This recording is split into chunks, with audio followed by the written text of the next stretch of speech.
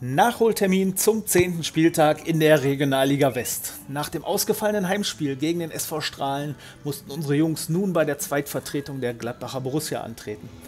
Der ursprüngliche Termin war seinerzeit wegen einer Corona-Erkrankung in den Reihen der Borussen abgesagt worden und so wurde die Partie nun unter Flutlicht nachgeholt. Die Gladbacher zogen sich weite Teile der ersten Halbzeit zurück und so war es Felix Herzenbruch, der nach 20 Minuten die erste nennenswerte Aktion des Spiels hatte. RWE bestimmte das Geschehen aber nach Belieben. Kiel Gomez mit dem Pass auf Kevkir. Dessen Hereingabe wird von Endres verlängert und Kiel Gomez ist wohl überrascht, wie frei er da vor dem Kasten steht. Die Rot-Weißen erarbeiteten sich Chance um Chance. Harenbrock, er läuft hier den Ball. Pass auf Engelmann, aber auch der verzieht. Die Gastgeber sollten erst nach gut 35 Minuten den ersten Abschluss haben. Grote wird unter Druck gesetzt, verliert die Kugel und Lockel zieht aus 20 Metern einfach mal ab. Der Ball senkt sich aber über den Kasten von Navari. Dann wieder unsere Jungs. Grote hat das Auge für Plechati auf dem Flügel, Pass auf den Elfmeterpunkt, Harenbrock in die Arme von Olschowski. Und unsere Jungs blieben weiter am Ball. Hahn auf Herzenbruch, der den Vorzug vor Kevin Grund bekommen hatte. Dessen Flanke landet auf dem Kopf von Engelmann und wieder knapp vorbei.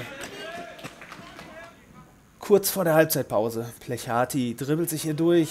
Der Ball zunächst abgefangen, landet dann bei Endres. Und über Umwege landet die Kugel auf dem Schlappen von Dennis Grote. Da fehlte nicht viel zur Führung. Nach dem Seitenwechsel war es erneut Grote, der am schnellsten schaltet und mit diesem tollen Pass Simon Engelmann in Richtung Gladbacher Kasten schickt. Der Ball wird aber noch abgefälscht. Es bleibt beim 0 zu 0. Die darauf folgende Ecke. Kevkir mit einer flachen Variante an den 16er. Herzenbruch. Und da ist Kiel Gomez. Erneuter Eckball. Wieder Kevkir, diesmal auf den Kopf von Hahn. Und Olschowski muss sich ganz lang machen. Die Kiste schien wie vernagelt. Toller Kopfball auf den Winkel. Der Gladbacher Keeper ist aber auf dem Posten und kann erneut den Rückstand für seine Mannschaft verhindern. Weiterhin überließen die Gladbacher unserer Mannschaft das Spiel. Kevkir, Olschowski ist zur Stelle. Der Ball wäre aber wohl am Tor vorbeigegangen. Vielleicht ein Standard.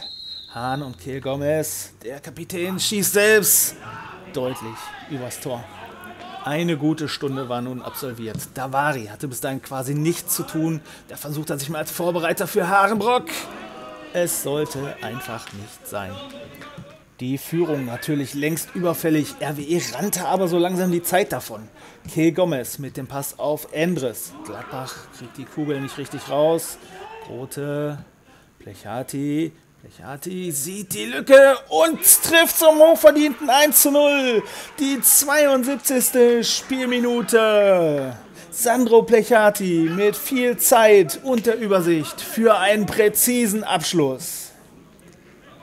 Wir springen in die Nachspielzeit. Platzek kommt für Endres in die Partie. Es gibt nochmal Freistoß für die Borussia. Lang geschlagener Freistoß ins Zentrum. Zunächst geklärt und dann wirft sich Platzek in den Schuss, bekommt den Ball an die Hand. Der Schiedsrichter entscheidet auf Freistoß. Denkbar knapp an der Strafraumgrenze. Der Freistoß, eine Sache für Quisera, durch die Mauer. Davari mit der Glanztat. Grote kann klären und dann geht es ganz schnell. Konter, RWE, Plechati bleibt am Ball, hat viel Platz und sieht den mitgelaufenen Young, Isaiah Young mit seinem ersten Treffer für Rot-Weiß. Ein ganz wichtiges Tor, denn damit war die Partie natürlich entschieden. Rot-Weiß Essen gewinnt mit 2 zu 0 bei Borussia Mönchengladbach durch Treffer von Plechati und Young und erobert damit die Tabellenführung zurück.